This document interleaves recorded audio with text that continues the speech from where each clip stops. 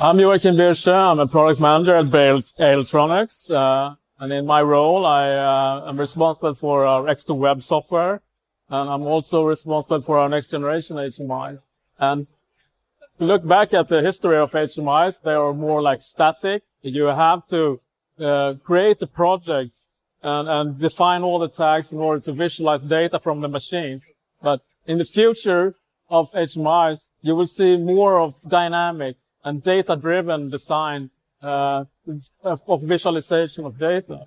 Uh, for instance, when we are working with the next generation of our X3, uh, we look into more how can we sort of take the device and put that into the machine and, and connect it to, to the PLC, OPC UA server, and, and in, immediately uh, visualize data without being e even start with a project.